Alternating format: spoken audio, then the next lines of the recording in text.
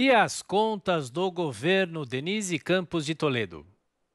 O próprio presidente Bolsonaro já mandou recado que não dá para manter o auxílio emergencial porque custa caro para as finanças públicas. Mas na pauta ainda está o Renda Cidadã, que seria um Bolsa Família turbinado para minimizar o impacto negativo que o fim do auxílio poderá ter sob vários aspectos. Em meio às discussões para a criação do programa, ficou evidente a falta de um planejamento para a saída da crise.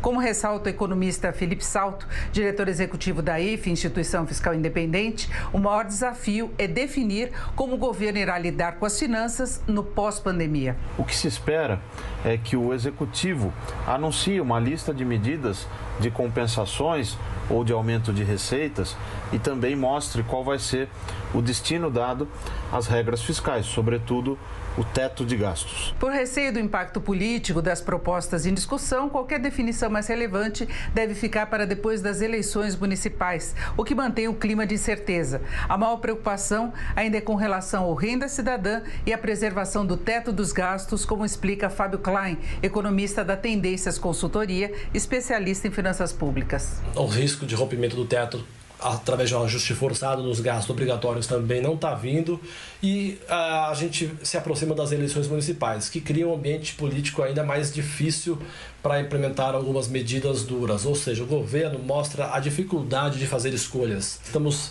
vendo aí construção de riscos fiscais elevados à frente. Qual será a solução do governo? Será que ele vai conseguir é, atender a, a ideia de criar uma renda cidadã e respeitar as restrições fiscais, esse é o grande desafio.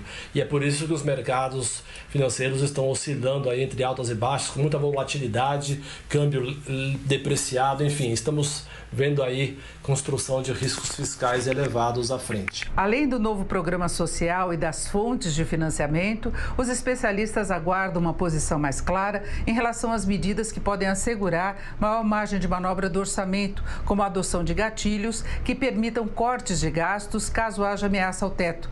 Mesmo sem o renda cidadã, o governo já poderá ter dificuldades para manter as despesas dentro dos limites do teto em 2021.